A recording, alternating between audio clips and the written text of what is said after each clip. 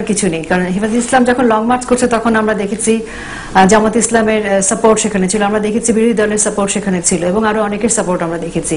আর হেফাজত ইসলাম আজকে যে ধরনের রাজনৈতিক সংকট তৈরি করেছে সেখানে হেফাজত ইসলাম কিন্তু আমার কাছে মনে হয় যে খুবই অযৌক্তিক এবং ফালতু দাবি নিয়ে এসেছে এবং খুবই আহ, খুবই সংখ্যালঘু সংখ্যার একটি আহ, ধর্মকে নিয়ে যে ধরনের আচরণ করছে সেটা জামাত ইসলাম এবং বিএনপি তারা পরিবেষ্টিত হয়ে কাজ করছে। আমাকে আপনি বলতে দিন আপনি এতক্ষণ বলেছেন?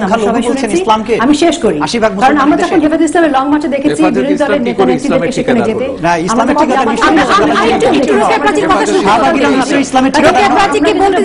এটা জনগণের পক্ষ থেকে বলছি আপনাকে জনগণের ভাষা শুনতে হবে জনগণ তো শুধুমাত্র আপনারা না জনগণ আপনাকে আমার শুনতে হবে আপনি এতক্ষণ বলেছেন আমরা জনগণ। শাহবাগীরা আমরা কিন্তু না